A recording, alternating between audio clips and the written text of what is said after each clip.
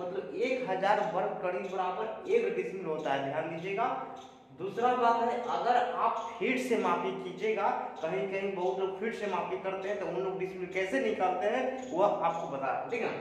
देखिए, अगर फीट से मापी कर रहे हैं और डिसमिल निकालना है तो एक डिसमिल बराबर चार वर्ग फीट होता है। बात समझे? चार सौ पैंतीस पॉइंट छह वर्ग फीट बराबर एक डिसमिल हो जाता है, ध्यान दीजिएगा। और मैं फिर नेक्स्ट बात करता हूँ वर्ग गज बहुत लोग गज